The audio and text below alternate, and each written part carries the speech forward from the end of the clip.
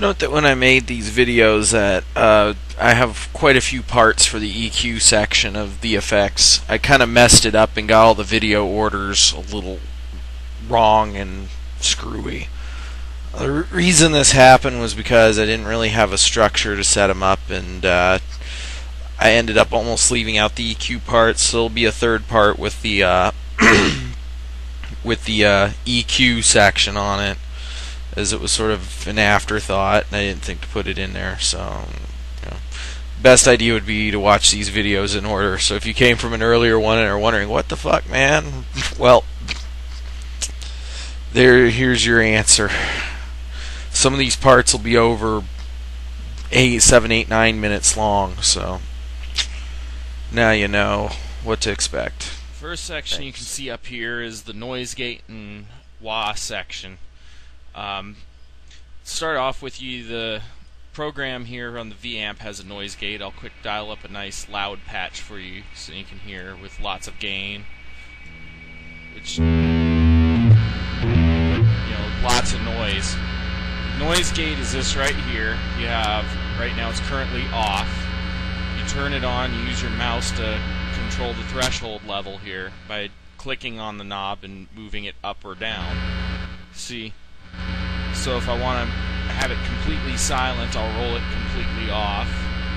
Or completely, you know, let the noise through, but allow things like turning down your volume to get a clean, cleaner sound. Like that. Or you can turn it up so sometimes a maximum setting, which will give it this kind of muffled kind of sound doesn't really track very well, but actually I have used it on a song that I wrote before. You know.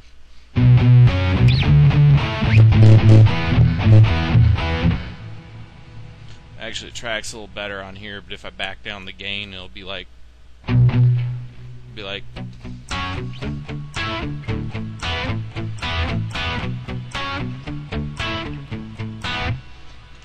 So that's basically it. You can use that. We'll just turn it down to an acceptable level and turn my gain down the drive off back to around where I usually have it.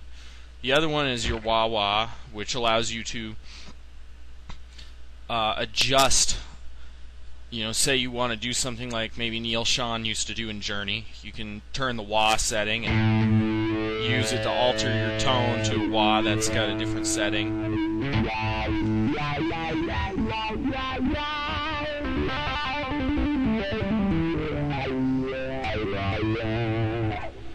It's wah wah setting, but so you can like set it over here if you wanted to use that sound for like you know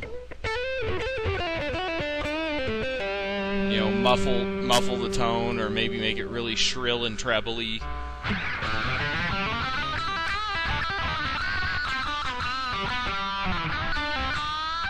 Kind of like something from uh, Nanook Rubs It from a Frank Zappa album or something like that. Alright, let's move over to the next part of this. Um, yeah, this is the next part. Hopefully you can see the whole of the entire screen right here. You've got the V-Amp design logo up here. This is your uh, name of your patch. Right now it says Mad Mike HB Distortion or DIST. Um, you have the store button right here, which stores your presets. Edit buffer, which is the buffered preset, and original, which shows when you're using the compare button here. The original preset versus the edit buffer, which is pretty much re-EQ'd to the same thing, just in case I make a mistake. And then you have overwrite here, which can overwrite that patch. Now, next up on the list, of course, right here is our pre-FX, which is basically stuff that you put in before the effects pedal, like you have a compressor, as you can see. Compression is sort of an effect that can both add distortion and it basically levels out the sonic level on your thing. It takes out some of the dynamics and makes it a little more balanced. It's used a lot by um, used a lot by country chicken pickers, and also take a little bit of power out of your signal. Like I'm going to play a riff really heavy and really light. The compressor off, it's like. Hear how it sounds nice and low there. Same pick and tack, I'll be like. So, yeah, that's generally what compressor does. It's a very subtle effect. It's not supposed to be all that audible. It's just supposed to keep the level equal, and it takes out some of the dynamics, giving more overall balanced kind of sound. Especially useful when you're recording guitar parts and you want to control the dynamics from the actual mixing on the board as opposed to, you know, your actual picking, attack, and so forth. Next one up is the auto wah setting. You have knobs for speed.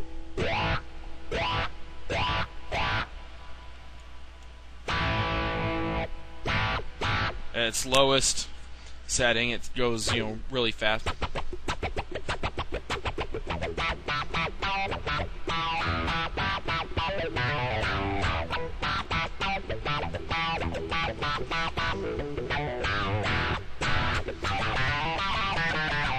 Gives you that kind of 70s funk kind of sound. Yeah.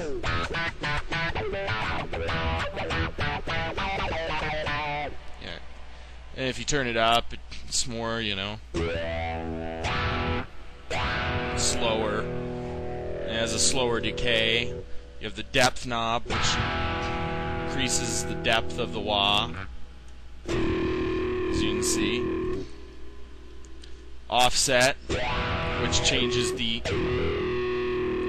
offset of the wah wah pedal from the onset.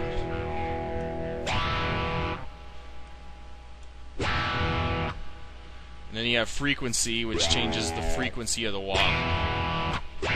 The starting frequency.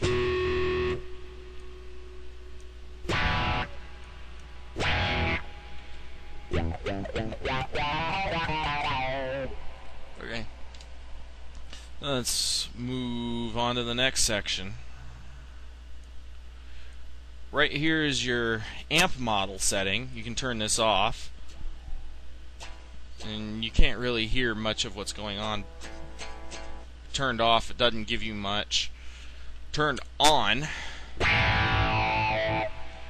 it'll change the kind of amp you're using. Like right now, I'm using British High Gain. You got a bunch of different amp models. You have the uh, tube preamp. You have uh, the deluxe. And each one of these has a slightly different volume level, so sorry if I blast yours out. You have the custom Class A, small combos, Black Twins. You get the idea. Basically, they all have.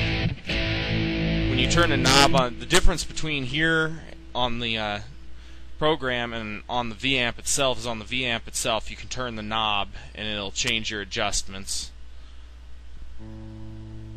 You know, and it'll change which speaker setting which is over here, goes with it. Like right now, I'm running a rectified high gain with a 4x12 V-amp custom cabinet. It's supposed to be sort of, you know, Mesa type sound like Metallica would use, you know.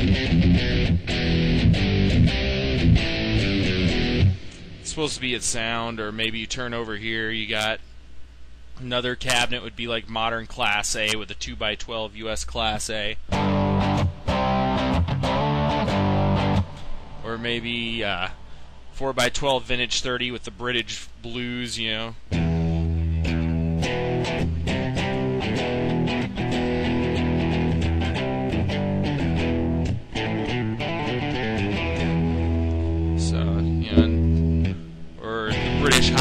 Gain, which is your Marshall stack, you know.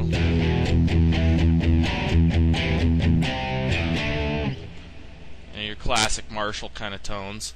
For right now, forego the actual preamp.